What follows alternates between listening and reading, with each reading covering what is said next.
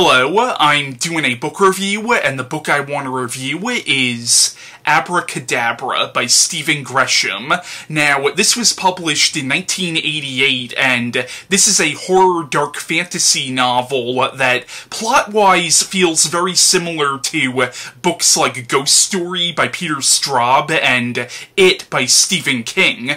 Ghost Story because this is really the story of a group of old men who, when they were young men, did something and now their past is coming back to haunt them, and it because it's about a group of people who uh, battled an evil when they were younger and now that evil has come back. The big difference between this and it is, in it, the flashbacks took up a significant portion of that novel to a point where the flashbacks in that book could have been their own novel unto themselves, and in here, the backstory is really only explained in like maybe 10 pages. Now, I can't speak to whether or not Stephen King's It was actually an influence on this book, but I know Stephen Gresham has said that Peter Straub's Ghost Story was an influence on this novel. Now, this book was put out by a publishing company called Zebra under their label Zebra Horror, and their big claim to fame in the 80s was their sort of outlandish covers for a lot of their horror titles, and I know they put out a lot of William W. W. Johnstone's books. And admittedly, and I know the golden rule is not to judge a book by its cover, but it was the cover that got me interested in buying this. I actually saw this at, I was at a convention a few months ago and one of the vendors was selling a bunch of used books and this was one of them, so that was the big reason why I got this. That I was also already familiar with the publishing company. And while the book was good, nothing quite as awesome as a zombie rabbit popping out of a hat that happens in this story. Now, what the plot of Abracadabra is it's about this 11-year-old girl named Juice Smith. Now, Juice is not her real name. Her real name is Olivia Jantz, I believe, but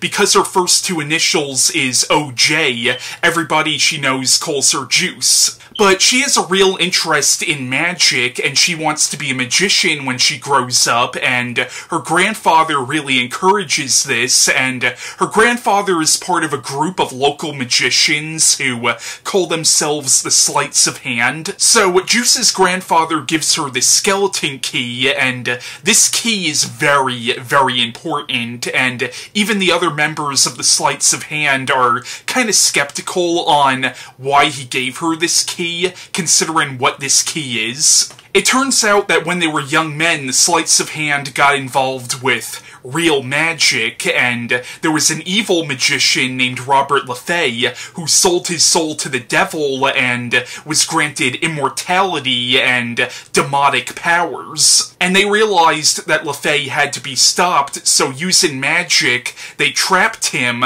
but now that Juice has this skeleton key, she unwittingly sets LeFey free, not realizing who or what he actually is and now LeFey seeks revenge on Juice's grandfather and his friends. Now, I thought Abracadabra was a very enjoyable read. It does have some flaws, in my opinion. I hate to say it, probably the biggest flaw is in the plot itself. Okay, you have a pissed off demonic wizard who you know hates your guts, and you give your granddaughter the one thing that can set this asshole free?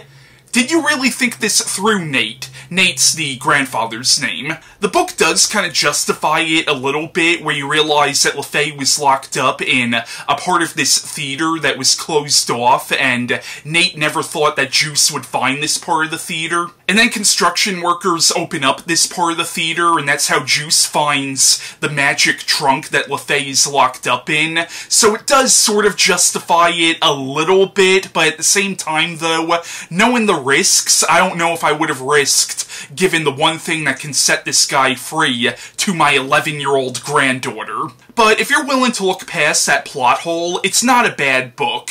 It's not a bad book at all, and it's actually a really fun and quick read. And the relationship between Juice and her grandfather is actually really sweet and really adorable, and that's kind of the heart of the book. And there is some commentary in this book on child abuse because it turns out that Juice's mother is very, very abusive towards her, but her mother is not an unsympathetic character because in the novel you find out that a few years prior to the events of this story, Juice's older brother died, and this is sort of really, it caused her mother to have sort of a psychological breakdown.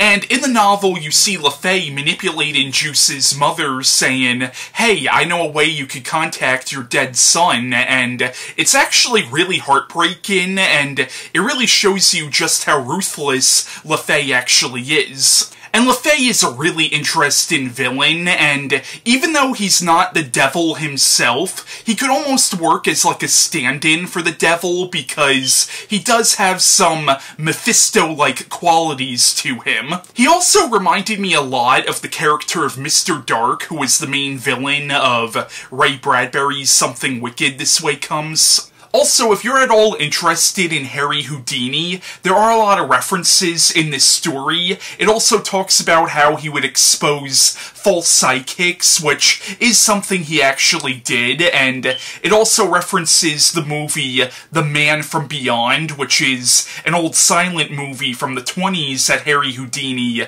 starred in. I thought that was pretty interesting because I'm a big movie buff and I love silent movies. But yeah, that was my review on Abracadabra by Stephen Gresham. I do think it's a good book. I do think it has some minor flaws. Like, as I said, there is kind of a plot hole in the plot itself, and also there are some things in this book that I feel the author could have gone more into. For example, there's a character in this book who's a friend of Juice's mother, who it's heavily implied that Juice's mother is sleeping with, and this guy ends up joining LeFey, but the book really doesn't do anything with this character. And then there's some dialogue in the book that could be seen as a little cheesy, but regardless, I still thought it was an enjoyable read, and if you're looking for a fun, quick read, I recommend it. So that was my review, and bye.